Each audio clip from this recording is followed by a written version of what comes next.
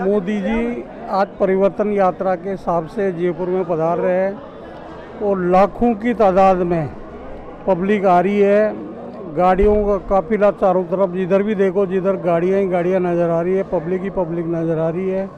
तो इससे लगता है कि राजस्थान में तो परिवर्तन होगा ही, देश में परिवर्तन होगा। 200 में से कितनी विधानसभा सीटों पे आप लोग जीतोगे? 160 पैंसठ की उम्मीद है। 160 भी पैंसठ सीट पे हम लोग जीत जाएँगे। जो 33 परसेंट महिला आरक्षण दिया गया है उससे कितना फ़र्क पड़ने वाला है? पूर्व में और अब जो महिला आरक्षण मिला उससे कितनी सीटों पे फ़र्क पड़ेगा? आज मोदी जी का जो स्वागत करेगी वो महिला के हिसाब से स्वागत होगा।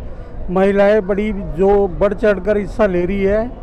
इससे लग रहा है कि आने वाले समय में मोदी जी महिलाओं के लिए काफ़ी कुछ करना चाहते हैं। राजस्थान में परिवर्तन की आंधी है और आज जिस महासंकल्प रैली का, जिस प्रकार का आगाज़ हो रहा है, निश्चित रूप से राजस्थान से कांग्रेस के भागने के संदेश दिए गया आज लगभग दो लाख से ज़्यादा भारतीय जनता पार्टी के कार्यकर्ता किसान उपस्थित होंगे।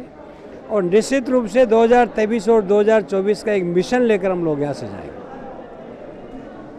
जो आज संकल्प परिवर्तन यात्रा जो परिवर्तन संकल्प यात्रा का समापन भी और पंडित दीनदयाल उपाध्याय जी की जयंती भी इसके बारे में आप क्या कहना चाहेंगे? यह परिवर्तन संकल्प महासभा निश्चित रूप से ये कांग्रेस सरकार की के अंतिम कील साबित होगा। और जिस प्रकार से कार्यकर्ता उमड़ा है जिस प्रकार से जन उमड़ा है मैं समझता हूँ यहाँ से नई ऊर्जा लेकर के 2023 में कांग्रेस का सफाया करने का संकल्प लेकर के जाने वाला है। कांग्रेस के कुशासन से जनता त्रस्त है और आज तो हमारे मार्गदर्शक पंडित दीनदयाल उपाध्याय जी का जो जन्मदिन है वह निश्चित रूप से हमको एक नई ऊर्जा दे रहा है। 200 विधानसभा सीटों में से कितनी विधानसभा पे उम्मीद है कि आप आने की? हम, हम तीन चौथाई बहुमत प्राप्त करने जा रहे हैं। देखिए जयपुर में जो जनसभा है ये एक मैसेज है आगामी चुनाव के लिए। जिस तरह से यहाँ पे जो पब्लिक है आम पब्लिक से लेकर पूरे हमारे, ये हमारे देश के और विश्व गुरु के रूप में हमारे देश के के प्रधानमंत्री भी हैं। तो लोगों का उत्साह इस तरह से बन रहा है जैसा कोई मेला लग रहा हो। ये हमारे देश की प्रधानमंत्री की छवि और देशवासियों का उनके प्रति प्रेम दर्शाता है और 33 परसेंट आरक्षण दिए बाद में महिलाओं की संख्या यहाँ पे ज़्यादा देखी जा रही है। और युवा हमेशा साथ में रहा है।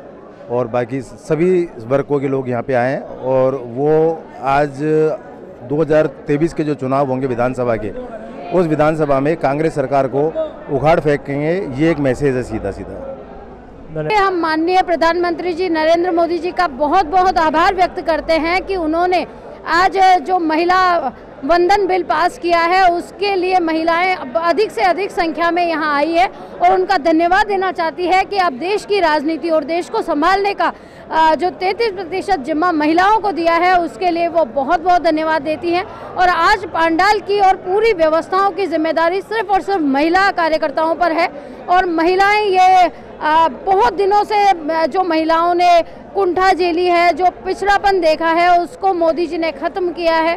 और आज बहुत ही गौरव का विषय है कि आज भारत की महिला एक सशक्त महिला बनने जा रही है। उसका पहला कदम मोदी जी ने आज शुरू कर दिया है। उस पर 2023 के चुनाव और 24 के चुनाव में क्या फ़र्क देखने को मिलेगा? जो पूर्व में चुनाव हुए हैं और अब जो होने वाले तैंतीस परसेंट महिला आरक्षण मिलने के बाद। देखिए, महिला भागीदारी निसंदेह बढ़ने वाली है और ये बिल लोग ज़रूर पारित होगा और हो भी चुका है सभी जगह। और अब आप देखिएगा कि महिलाएँ अधिक से अधिक संख्या में विधानसभा और लोकसभा में पहुंचेगी और निकायों में पहुंचेगी पंचायतों में पहुंचेगी और अपनी आधी आबादी का प्रतिनिधित्व कर सकेंगी, उनकी बात सही से रख सकेंगी। महिला को जो स्थान मिलना चाहिए वो अब ज़रूर मिलने लगेगा। राहुल गांधी जी ने कहा है कि मोदी जी 10 साल बाद महिला आरक्षण देने और हम चाहते हैं कि आज ही हो। देखिए, अगर राहुल गांधी जी को या उनकी पार्टी को महिला आरक्षण देना होता तो 27 सालों से ये जो बिल है धूल नहीं फांक रहा होता। अगर नरेंद्र मोदी जी नहीं होते तो महिलाओं के बारे में कोई विचार नहीं करता। जब आज नरेंद्र मोदी जी ये बिल लेकर आए हैं तो कांग्रेस तिलमिला गई है कि ये उन्होंने क्या कर दिया। कभी कांग्रेस चाहती ही नहीं थी कि महिलाओं का भला हो। जो जिस हिसाब से जनसंख्या आ रही है, उस हिसाब से आपको क्या लगता है, कितने लाख लोग आने वाले हैं आज? देखिए, लाखों की संख्या यहाँ आने वाली है। अब कितने लाख हो जाए, ये मोदी जी का चमत्कार है। मोदी जी की सुनामी है, इसमें कितने लाख लोग आएँगे? मुझे नहीं पता, लेकिन आज संख्या देखने लायक होगी। अब मैं उसकी काउंटिंग नहीं बता सकती कि 10 लाख आएँगे 15 लाख आएँगे या 20 लाख आएँगे। लेकिन आज यहाँ की पूरी जो धरती है दादिया की, ये बीजेपी के समर्थकों और बीजेपी के कार्यकर्ताओं से भरने वाली है।